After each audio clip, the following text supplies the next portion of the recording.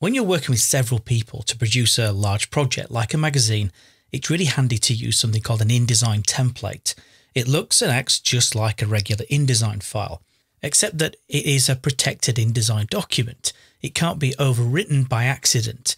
It will include things like your paragraph, character, and object styles, your brand colors, and it will include your master pages, which have all of your grid system incorporated into it.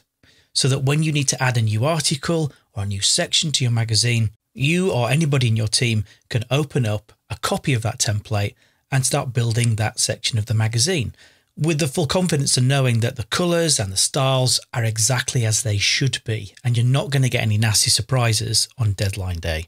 So, the way you go about creating that template is develop one InDesign document with all that content in. When you feel like it's at a point where it can be captured as a template, you can go to the File menu and choose Save As.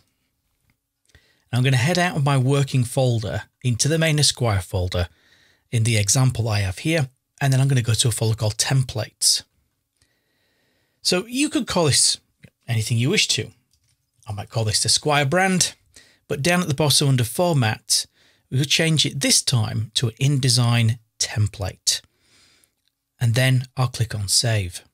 If you take a look at the document tab, it now reads esquirebrand.indt, meaning that this is now an InDesign template, not like your regular InDesign document.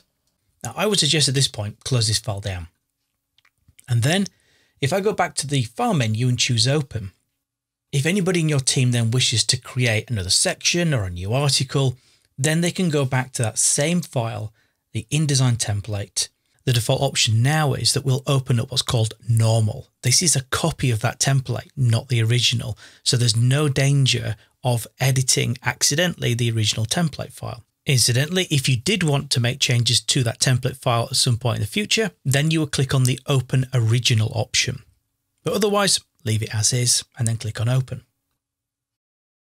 As you can see from the Document tab at the top left, this file is called Untitled 2, so this is a copy, and you could just develop this file, remove the existing content, replace it for new material, and then at some point save this as a regular InDesign document, which will then become part of your larger magazine project.